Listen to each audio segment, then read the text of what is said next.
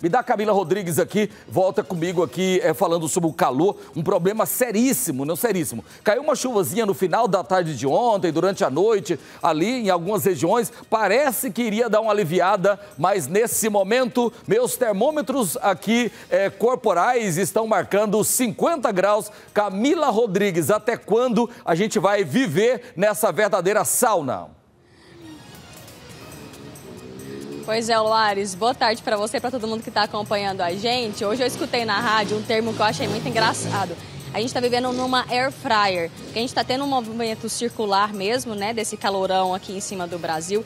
E é esse nosso, a nossa sensação, né, de estar dentro de uma fritadeira elétrica. Eu estou na Praça Cívica, nesse momento 34 graus aqui.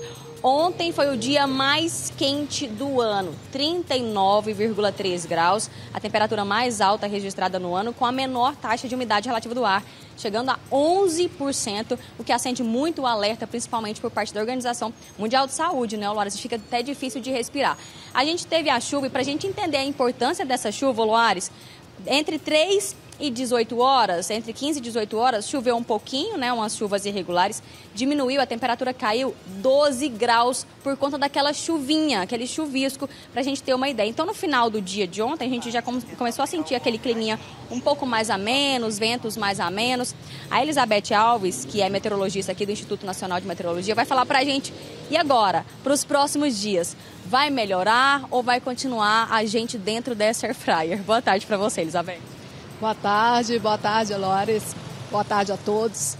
Sim, a gente vai começar a ter um alívio nessa temperatura. Hoje ainda não, ainda tem, temos aí temperatura prevista para 38 graus, amanhã também, ainda não cai tanto na quarta-feira, mas a partir de quinta-feira aí sim já melhora um pouco. Mas é aquela melhora, Loares, que sai dos 39, 38 e vai aí para os 36, né? Porque esse período agora é um período quente, a média é de 34 graus, então cai aí para 36, chegando próximo aí da média, mas ainda é, vai favorecer a, que, a questão da sensação térmica por conta da chegada das chuvas, né? Que é o que a gente está esperando, já começou a ocorrer ontem aí isoladamente. E a frente fria vem contribuir aí a partir de quinta-feira né, em espalhar essas chuvas, né? Por, pela região, principalmente centro-sul do estado aqui de Goiás, trazendo mais chuva. E aí tem aquela condição, né? Pancada mais intensa, pode ter radiada de vento, granizo, principalmente na região sudoeste, a região sul vem sob essas condições, né? Então, é, até lá a gente vai ter essas chuvinhas aí pontuais até na quinta-feira. Hoje tem previsão, pode acontecer novamente essas chuvas e normalmente ocorre depois das 15 horas. Então, por isso que a gente ainda sente o calorão, né, como foi ontem, e depois ocorre aquela chuva e melhora a temperatura. Agora, o que chama atenção é a, a, essa potência da chuva, mesmo que de forma irregular, em apenas algumas regiões, ela teve a capacidade de diminuir aí em 12 graus a temperatura. Por isso a importância dessa chuva para amenizar, né, Elizabeth? Exatamente. Né? Ela vem amenizar e, e, quando ela espalha, né, quando é mais geral, aí melhora mais ainda, né? A sensação térmica melhora, porque melhora a umidade, a temperatura cai, então a, a respirar fica melhor, né? A, a, atmosfera fica mais limpa e aquela sensação de que a gente está respirando bem. Então, realmente só com uma chuva mais especializada para a gente ter essa condição aí, que é a partir de quinta-feira. Agora a gente vai receber essa frente fria e a gente vai entrar em outubro já na próxima semana. Como que a gente vai entrar em outubro? A gente pode ter outros picos de temperatura, outra onda de calor como essa que a gente está vivendo? Sim, outubro ainda é um mês quente, né? O início das chuvas é irregular, então temos é, agora a previsão até o início da próxima semana e pode dar um intervalo sem chuva novamente e volta a levar a temperatura, né? Ou seja, um pico, ainda podemos ter pico de 40 graus? Podemos no, no mês de, de outubro, mas a, a tendência no momento é que esse intervalo com esse pico é poucos dias, três dias no máximo aí, né? Pode dar também uma semana, mas essa condição assim de um período período de duas semanas com essa onda de calor, ela não está sendo prevista no momento. E aí, realmente, para entrar no período chuvoso, é a partir da segunda quinzena de outubro que a gente vai ter um volume maior de água.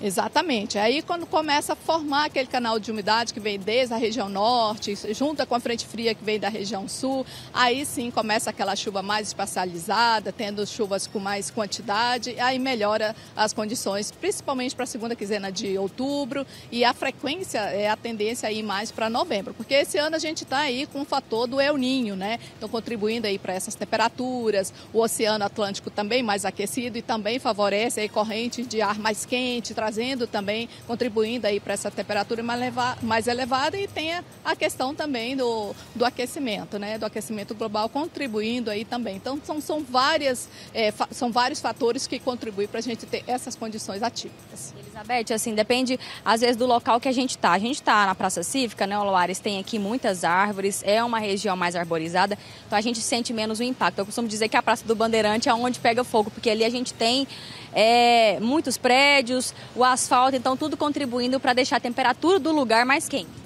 Exatamente, a gente vê essa, essa condição, a gente está aqui à sombra, né? Imagina a gente indo ali para o sol, aí começa a transpirar, a, a, sensação térmica é mais ainda, porque a radiação está direta, então a gente faz a medição da temperatura à sombra, né? No, abrigo meteorológico que é feito de madeira, a circulação do ar também ali é impedida, então realmente só da temperatura. Mas imagina quem está trabalhando exposto ao sol, né? Então a sensação térmica aí varia aí de 5 graus ou até mais aí de 5 graus. Obrigada pela sua participação aqui com a gente, ô. Aí, lá em casa, eu estou adotando a seguinte estratégia: ligando o umidificador de ar, porque é importante também, principalmente para gente que tem problemas respiratórios e o ar condicionado também para ajudar, porque senão realmente não dá para dormir. Mas como a Elizabeth ressaltou, a partir de quinta-feira a gente já vai conseguir respirar um pouquinho mais aliviado com a chegada dessa frente fria. Volto com você. Tomara, viu? Porque eu já fico pensando também na conta de energia que vai vir no final do mês, né, a Camila? É, que tá todo mundo usando ventilador, ar-condicionado, umidificador, tá todo mundo em desespero tentando aí sobreviver. A conta de energia vai vir mais cara também. Agora, além do calor, calor, Camila, a, moradores de Senador estão enfrentando muitos problemas por falta de água. A Eloá está dizendo aqui que ela mora no Vale das Brisas, em Senador Canedo. Tem três semanas, três semanas que eles estão sem água, já não sabem mais o que fazer e os moradores estão pedindo é socorro lá em Senador Canedo. Obrigado, viu, Camila? Ou seja, vários bairros, praticamente toda a Senador Canedo, passando pelo problema da falta de água. Isso é muito sério, muito sério mesmo.